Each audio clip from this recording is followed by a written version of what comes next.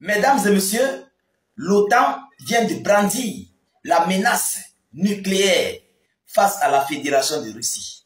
Il vient de chercher leur arrêt de G. Oui, l'OTAN discute désormais la mise en alerte des armes nucléaires. C'est de ça qu'il s'agit.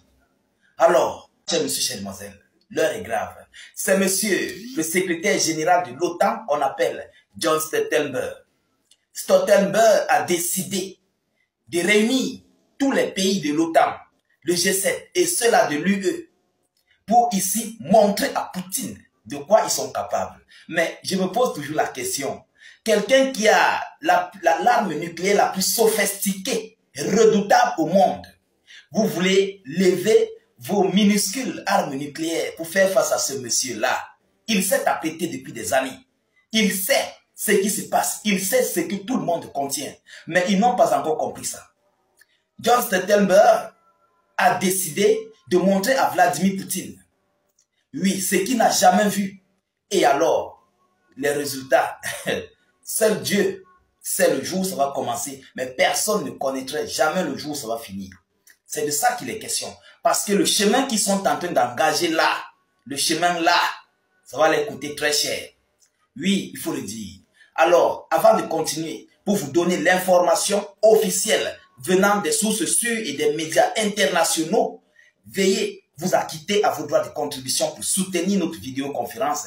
Laissez vos avis en commentaire. Et si vous n'avez rien à écrire, mettez tout simplement « Salut état d'urgence ». Vous comprenez?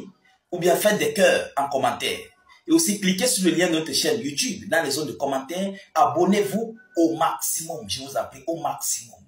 Voilà, chers dames, chers messieurs, chères demoiselles, que dit M. Stoltenberg?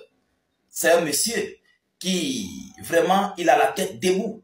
Il veut à tout prix, son objectif, en fait, leur objectif, c'est de mettre Poutine à genoux depuis le premier jour de ce conflit. Mais, il ne parvient toujours pas. Alors, qu'est-ce qu'il faut faire? Ils, ils ont maintenant dans leur tête que non, c'est peut-être l'arme nucléaire qui va changer les données sur le terrain. Hein? C'est ça qui va mettre Vladimir Poutine. Voilà dans notre côté du, bout du monde. Alors, qu'est-ce qu'il dit? L'OTAN discute désormais de la mise en alerte des armes nucléaires. L'OTAN. Donc, avec les chars Abrahams, les chars ceci, les Bradley, les blindés, ça les a dépassés. Ils ont vu que Poutine n'est plus à ce niveau.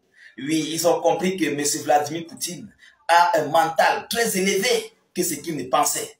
Et il faut passer à la vitesse supérieure. Mais, laissez-moi vous donner l'information. Comme l'a déclaré le secrétaire général de l'Alliance de l'OTAN, M. Jens Stoltenberg, le bloc doit, doit démontrer son arsenal nucléaire au monde entier afin d'envoyer un signal direct à ses opposants. Qui sont ses opposants? On a, la Russie, on a la Chine, on a la Corée du Nord, mais Kim Jong-un est d'ailleurs même prêt. Il est prêt pour ça, il attend ça.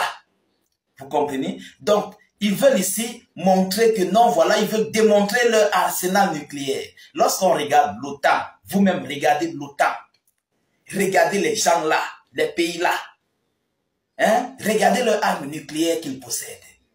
Mais c'est le jour et la nuit avec la Fédération de Russie. C'est totalement le jour et la nuit. Ils n'ont pas encore compris, ils n'ont pas encore compris quoi. On doit encore leur dire quoi. Ils sont en train de brandir la menace. Après, ils vont accuser Vladimir Poutine que c'est lui qui est en train de brandir la menace nucléaire. Et pourtant, le nombre de têtes même d'ailleurs, ils n'ont pas assez comme Vladimir Poutine. Si on met la Corée du Nord, la Russie sur les têtes nucléaires, mais ils vont déjà largement les dépasser. Seul le bloc des alliés. La Corée du Nord, la Chine et la Russie. Vous comprenez? Voilà. Le secrétaire général a également déclaré que les États-Unis et leurs alliés modernisaient leurs forces de dissuasion nucléaire face à la menace croissante de la Russie. Est-ce que la Russie menace quelqu'un? Oui. Est-ce que la Russie menace qui que ce soit? Non. La Russie défend ses intérêts. La Russie n'a menacé personne. C'est lorsque vous provoquez la Russie que vous vous rendez compte qu'elle est en train d'entrer au bout de vos narines. Si vous ne provoquez pas la Russie, il n'y aura rien. La Russie ne provoque pas d'ailleurs les gens. La Russie veut la paix. La Russie veut un monde multipolaire. Et c'est ce monde multipolaire qui les fait tellement mal.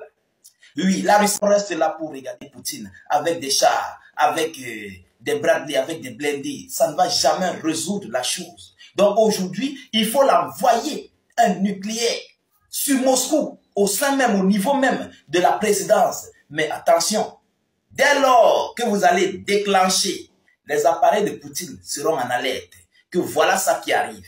Automatiquement, dans les minutes, les secondes qui suivent, chères dames, chers messieurs, chères demoiselles, Monsieur Poutine aurait déjà envoyé dans ces pays-là. Ah oui, il aurait déjà envoyé. Vous comprenez? Ce monsieur se balade avec sa mallette du bouton rouge. Oui, laissez-moi vous dire, il est toujours avec sa mallette du bouton rouge. Et ses nucléaires sont toujours debout. Toujours en alerte. Il suffit que vous, vous, vous essayez seulement, il programme seulement la ville, le, lieu où ça doit atterrir, et il clique sur le bouton rouge. Monsieur Poutine est toujours prêt pour ça. Vous comprenez? Donc, je vais vous poser une seule question. S'il vous plaît, répondez en commentaire. Répondez-moi à cette question en commentaire. Bon, quelle est la question? La menace d'un conflit nucléaire vous semble-t-elle réelle?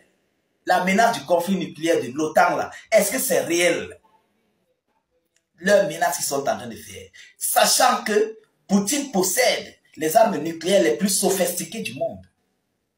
Est-ce que leur menace nucléaire là est réelle? Ou bien c'est juste pour, euh, voilà, pour attirer les uns et les autres, pour donner le courage à le faire? Est-ce que c'est réel?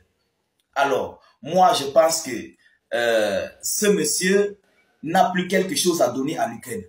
Ils n'ont plus en fait quelque chose à donner à l'Ukraine qui pourrait changer la donne sur le terrain. Parce que tout ce qu'ils font, tout ce qu'ils offrent à l'Ukraine, Malgré tout ça, les Russes continuent d'avancer.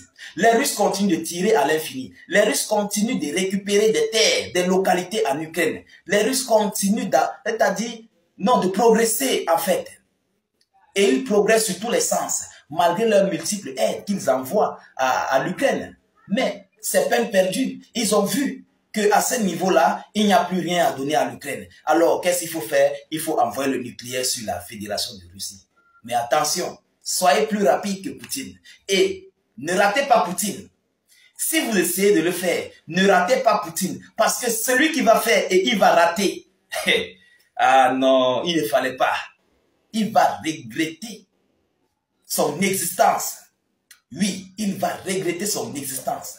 Alors, chères dames, chers messieurs, chères demoiselles, voilà en fait ça, la fameuse nouvelle de l'OTAN, qui ne se soucie pas de leur peuple, qui ne se soucie pas du peuple, du monde, qui ne se soucient pas euh, de, de leurs activités. Donc pour eux, ils ont déjà trop mangé, ils doivent partir.